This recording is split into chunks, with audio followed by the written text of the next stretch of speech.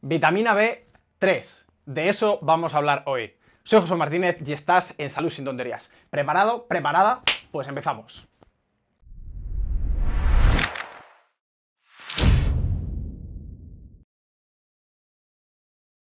La vitamina B3 participa en el ciclo de Krebs, que es el proceso por el cual tus mitocondrias cogen lo que comes y lo convierten en ATP para que al final es la molécula de energía que necesita tu organismo para vivir. Si no tienes ATP, te mueres. Concretamente, la vitamina B3 participa en el proceso de glucólisis. dentro del ciclo de Krebs que comentábamos, es la parte en la que los carbohidratos se convierten en energía. Curiosamente, en la Unión Soviética, la vitamina B3 se combinaba con el GABA y este compuesto se conocía como picamilón y era un compuesto que además de usarse para mitigar la depresión, también eh, mejoraba el rendimiento cognitivo y reducía la presión arterial. De hecho, si no recuerdo mal, es un, es un compuesto que todavía se sigue vendiendo en Rusia, bajo con receta médica.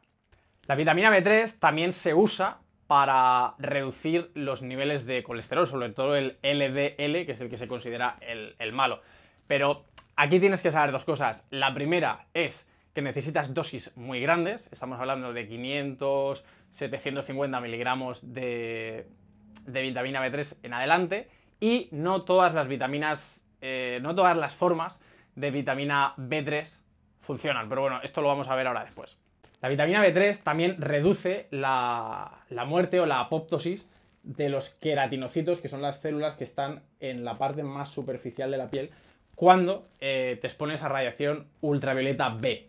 Otra cosa muy curiosa de la vitamina B3 es que es eh, antifúngica. Reduce la proliferación de Candida albicans en el intestino y no solo eso, además, también impide que esta cándida cree a su alrededor biofilms para autoprotegerse. Lo cual es algo bastante, es algo bastante putada porque muchas veces las bacterias se crean esos biofilms y ya puedes tirar antibióticos que no vas a solucionar nada porque se están protegiendo en, esa especie de campo de fuerza, por decirlo así. Y en caso de pacientes con esquizofrenia, puede reducir eh, los síntomas psicóticos, pero ojo, eh, no en todo el mundo que tenga esquizofrenia, ¿vale? Es, en, es en ciertos colectivos, algunas veces funciona y otras veces no. ¿Qué debo comer para tener unos niveles de niacina de puta madre?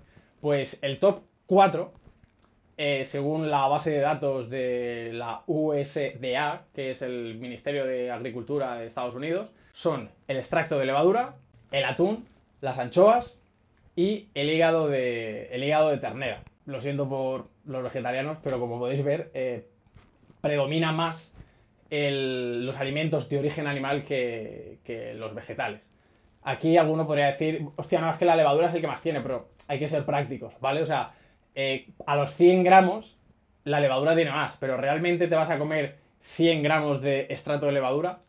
¿O será más fácil que te comas 100 gramos de anchoas o 100 gramos de hígado de ternera que al final es un par de filetes? ¿Vale? Entonces al final, eh, a nivel numérico, gana el extracto de levadura, pero siendo prácticos, al final nos quedaríamos con, ese atún, anchoas e hígado de, de ternera que te acabo de comentar. En el caso de las plantas, esta niacina puede estar pegada a ciertos macronutrientes y no estar libre y no pudiéndose aprovechar. De hecho, esto eh, antiguamente eh, pasaba en, los países de América Central cuando comían maíz.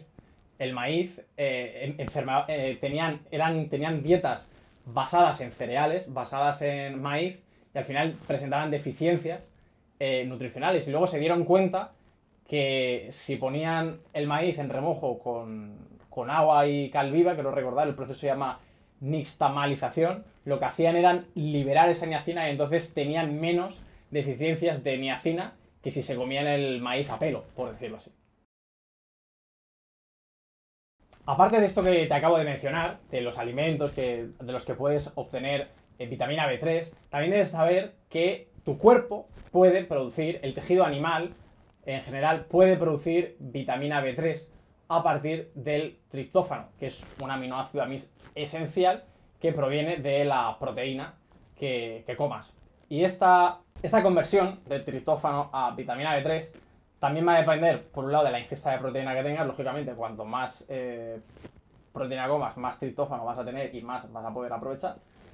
Y también de la, de la vitamina B6, ¿vale? Necesitas, eh, depende de la ingesta de proteína y de la vitamina B6. Ojo, eso no quiere decir que te hinches a proteína o que te hinches a triptófano para, para convertirlo a, a, vitamina B3, ¿vale? O sea, eh, los tiros no van por ahí. Simplemente que sepas que tu cuerpo tiene un mecanismo extra para poder generar, para poder sintetizar internamente esa vitamina B3, ¿vale? Pero no te flipes con el triptófano tampoco. Otra de las preguntas que te estés haciendo es, vale, tío, está de puta madre, la niacina tiene beneficios, pero ¿cuánto necesito? ¿Cuánto tengo que comer? ¿Cuánto tengo que meterle al cuerpo? Pues esto, eh, al final cada regulación tiene su historia. Aquí en Europa, la Asociación Europea de Seguridad Alimenticia determina la cantidad de niacina que una persona necesita en base a su ingesta calórica. Como ya hemos dicho, es dependiente del ciclo de Krebs, de producción de energía, entonces lógicamente cuanto más energía le metas al cuerpo, pues más eh, niacina vas a necesitar. Entonces, en el caso de, los hombres, estamos en 0,0067 miligramos de niacina por cada kilocaloría que ingieras. Y en el caso de las mujeres estaríamos en 0,0054 miligramos de niacina por cada kilocaloría de ingesta.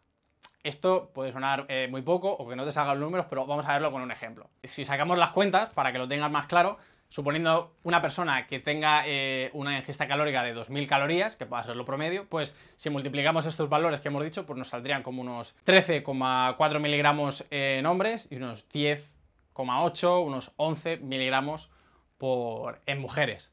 Ahora bien, yo con este tipo de recomendaciones siempre puedes tirar un poquito más arriba que no te va a pasar nada. ¿Por qué te puede faltar niacina? Pues una de las causas de deficiencia en niacina es que se te esté yendo la mano suplementando con otros tipos de, vitaminas. Si has visto mis vídeos anteriores sobre la vitamina B1, la vitamina B2, que te dejo en la descripción del vídeo, a lo mejor te ha dado por hincharte a este tipo de vitaminas aisladamente y al final lo que, has creado, lo que, lo que es que has creado una, una descompensación entre esas vitaminas y la vitamina B3. Eso podría pasar. Otra de las causas obvias es que no estés ingiriendo eh, suficientes alimentos con esta vitamina. Otra causa, que aunque es un poco rara puede pasar, es el tema de la enfermedad de Hartnup, que es una enfermedad genética por la cual eh, tu cuerpo no absorbe aminoácidos como el triptófano. Entonces, esa conversión endógena de la que hablamos antes no se puede llevar a cabo. Y luego, otra causa de que te pueda faltar eh, niacina, aunque lleves una dieta perfecta, es que tengas problemas en el intestino y tengas el intestino bastante, bastante tocado, bastante hecho mierda. Entonces, si tienes, por ejemplo, permeabilidad intestinal o alguna o enfermedad inflamatoria tipo enfermedad de Crohn, pues este proceso de absorción se va a ver bastante perjudicado. Entonces, parte, o a lo mejor la totalidad, en función de la gravedad de, lo jodido que tengas el, el intestino, pues esa absorción de niacina se va a ver afectada.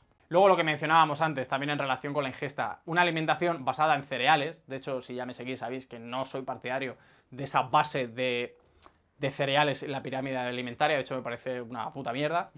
Al final, una alimentación basada en cereales, ya hemos visto que el, top son alimentos de origen animal, entonces eh, los cereales son pobres en vitaminas y al final si basas tu alimentación en cereales, pues no te vas a estar nutriendo realmente en cuanto a niacina se refiere.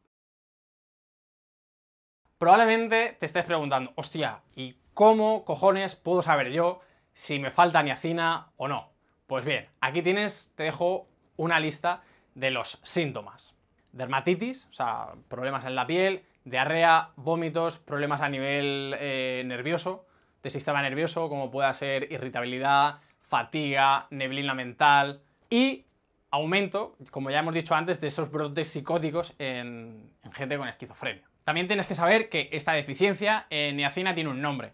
Esta, esta deficiencia en niacina es conocida como pelagra y si bien en los países occidentales es bastante raro, porque a casi todo está fortificado con vitaminas y con historias. De hecho, cuando hice la investigación de, de, los alimentos más ricos, casi todos eran cereales y eran historias, pero claro, son cereales, son alimentos procesados a los que les han, están enriquecidos con niacina, o sea, no la tienen de, de forma natural. Si ya has investigado o has leído, te has informado sobre la niacina, habrás escuchado que, ayuda a, detoxificar y a sacar tóxicos que la piel se te pone roja porque los tóxicos salen por la piel y todo este tipo de cosas. Bueno, pues este fenómeno de que la piel se te pone roja, es, esto es cierto, es, esto es lo que en inglés se conoce como flashing, pero eh, no tiene nada que ver con que tú estés, con que los tóxicos estén saliendo por la piel, ¿vale? Al final este proceso ocurre simple y llanamente porque los vasos sanguíneos de la periferia, cercanos a la piel, se dilatan, la sangre sube y entonces, claro, al, aumentar ese flujo sanguíneo, la piel se pone roja, pero ya está. Este enrojecimiento viene porque la niacina aumenta la producción de las prostaglandinas, que al final es un compuesto que al final lo que hace es aumentar la vasodilatación y que la sangre fluya hacia la piel. Por eso te pones colorado. Esto ni es peligroso, ni es perjudicial, ni es malo. O sea, hay algunos suplementos que ahora vamos a ver que te dicen que se usa este tipo de suplemento en vez de este porque no te enrojece. ¿Vale? El, enrojecimiento no es un efecto adverso, no es malo, eh, no tienes por qué asustarte si te pasa simplemente eso, una vasodilatación que hace que la sangre vaya hacia. que haya más sangre cerca de la piel, entonces tú por eso lo ves rojo. Y ya está. Entonces, lo que te estaba. Lo que te acabo de. Hay algunos suplementos. Si, es, si no te quieres. Si no quieres eh, ponerte como el culo de un mandril o este tipo de cosas, te da un poco de reparo. Pues hay otros suplementos que no consiguen, que hacen que no. O sea, que este efecto de flashing, de enrojecimiento, no lo tiene. Entonces, algunos de los suplementos que tienen esta virtud, por llamarlo de esta manera, serían la niacinamida, la niacina de liberación lenta y el inositol hexanicotinato. En el caso de la niacina de liberación lenta, debes de saber que esta no te vale para el colesterol. ¿Ok? Entonces, si, si te planteas si te planteas tomar niacina para reducir el colesterol, esta no es tu opción. Que lo sepas. Suplementos de niacina, ¿cuándo utilizar? Pues yo sinceramente, si es un suplemento aislado de niacina, eh, yo me lo dejaría para casos de deficiencias graves de niacina, porque en mi opinión, cualquier suplemento que tú metas, si tienes unos niveles relativamente normales de todo lo demás, al final lo que vas a hacer va a ser descompensar ese complejo B del que hablábamos antes. En el caso de la niacina, pasarnos más no es mejor. Y esto puede acarrearnos problemas en el hígado. Entonces, ¿te va a pasar esto siempre? No, esto te va a pasar cuando te pases de la raya a lo bestia. Entonces, si estábamos hablando antes de dosis de 10, 13, de dos cifras de, niacina, estos problemas, esta toxicidad en el hígado te puede ocurrir cuando tienes dosis muy altas a partir de 750 miligramos de ácido nicotínico o a partir de 3000 miligramos de niacinamida. O sea, esto viene a ser que te, que te casques al día entre 60 o 30 cápsulas de vitamina. O sea, es una completa barbaridad. Pero bueno, si se te van, si se te cruzan los cables y haces estas locuras, pues que sepas que puedes tener problemas en el hígado. ¿Qué síntomas puedes esperar cuando te pasas, eh, te pasas siete pueblos con la suplementación en niacina? Pues los síntomas que puedes esperar por toxicidad son los siguientes. Niveles altos de enzimas hepáticas, ictericia, cuando ya empieza a ponerte amarillo, náuseas, vómitos y dolores de cabeza, entre otros. Y ya está, hasta aquí todo lo que te quería contar sobre la niacina. Espero que te haya sido de utilidad, gracias por quedarte hasta el final y te veo en el próximo vídeo. ¡Chao!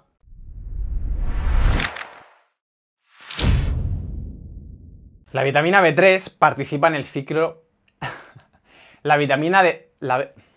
Reduce la... la pro... Oh.